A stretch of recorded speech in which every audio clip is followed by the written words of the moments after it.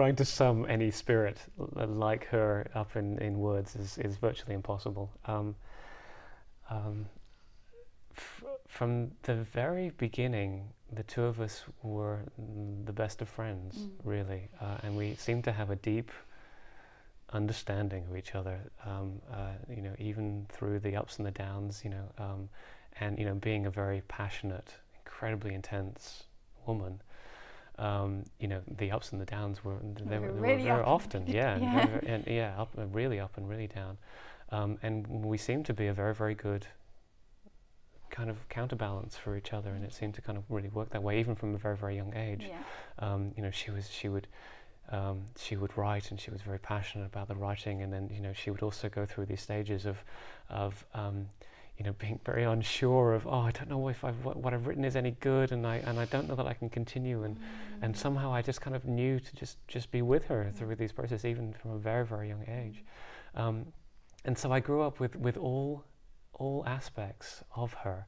I, I, grew up with the with the persona that everybody kind of knew and loved of mm-hmm. this incredible, you know, kind of powerhouse woman. Yeah. Um, uh, and you know, which she was 150 percent. And I also knew the the other sides of her, which were just so. Um, she was so sensitive and so incredibly, um, um even delicate, mm. Um, and um, yeah, I don't don't she, she's still a mystery, really, to me, because um, she had so many different modes and different personalities, yeah. and um, her her the, the, her life story and her, her life's work. I mean, it, it, incredible, absolutely incredible. I, I, mean, she helped inspire me to get into shamanism, which yeah. was one of the things. It, you know, so this is over twenty years ago because she, her book 13 quantum leaps. 13 quantum journey to freedom yeah, 13 quantum, quantum steps steps yeah, for the soul for the soul yeah you know and so so back then you know she really inspired and i remember doing that program mm. and everything so she so it wasn't just food it, it was other it was beauty it was other yeah. areas of, of healing and all kinds of things wasn't it yeah very much so and and it was very interesting she she uh, when she worked for Harper's and Queen, which was you know when I was very very young, um, uh, she really um, Harper's and Queen had never put health and beauty together. Mm-hmm. They were always separated, uh, and she really created an entire industry out Isn't of being being able to yeah. join those two words together. Okay. And of course, what we what we then get is that they are so from from yeah. that point on, really, they were so closely linked. Health and beauty are, are, are like you know. So she was the torchbearer. She was kind of she, she, she, ahead of her yeah, time. Because they basically gave her the option of saying, "Look, we want you. You do whatever you want." Mm. And she was mm. like, "Well, I'd like to do something on health and beauty." And they were like, "What?" Those aren't, you know, that, that's that's like putting, um, you know, heavy lifting equipment with beauty. I mean, it was just like you just don't join those two together. but amazing? Um, but the, the, the, truth was is that you know people really resonated with it because they did. They yeah. were they were so inter- interconnected and, and intertwined. Yeah. Um, and so yeah, I, it, it I adore her. I absolutely love her, and I and I do miss her. And it was it was very difficult, but at the same time, I, I, I developed a much deeper understanding of that this is this is um, life is part of something again much larger than myself, and I am simply part of it, and yeah. and that um, whatever come ne- comes next, I do not know, but I but I I feel her presence, I feel her yeah. power, I, I feel felt yeah, presence. Um, yeah. and and I don't ever think that that will go away. No. It'll shift and it'll change, and yeah. I'm sure wherever she is, she's doing you know, she always finds something that she's very passionate about in the same way that she brought shamanism to, to, the, to, to a world that didn't even realize that it kind of existed. Yeah. And the thing that was so beautiful as well about her is she would always take these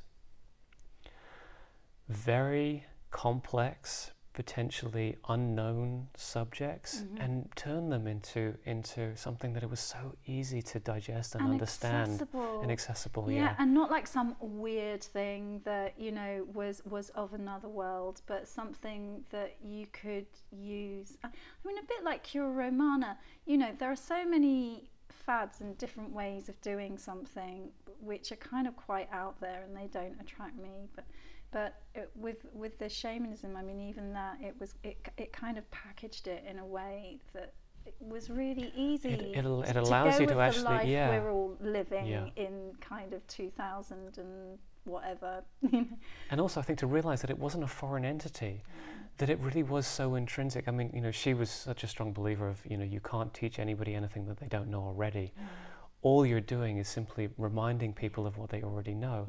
And because of her uh, ability to translate it into, into the language really of the soul, I think, uh, it allowed people to just so deeply understand what it was. And it wasn't theoretical. Everything that she wrote was felt. And even the language, wa- the way that she wrote, it was like poetry. I remember um, her reading um, uh, passages of her first book, Joy of Beauty. And you, somebody could be reading a poem to me, and, and I would be like, oh my God. And the imagery, is it just, it was phenomenal.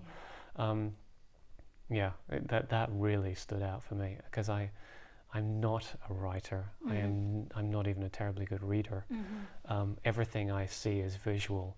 Um, but to hear those words, you know, is Oh, I, I wish I'd met her, but at Mm. least I've met you. a lot of her lives in me. yeah, I, I, and you know we're here and we're in your home, and it, it's it's amazing. Um, but yeah, the the, the shaman the sh- shamanism thing for me is a is a really a really um, special thing, and and I love what I love is that it was her books on that and her book on Cura Romana that it's the same woman that get kind of resonated with me at different points in my life you know when when shifts needed to happen Yeah. when rites of passages needed to happen and Yeah. that actually um, whereas journeying with shamanism is one way of doing it um, Cura Romana is a journey I mean it I- I can honestly say it's it's had as much if not more of a profound Yeah. effect Yeah.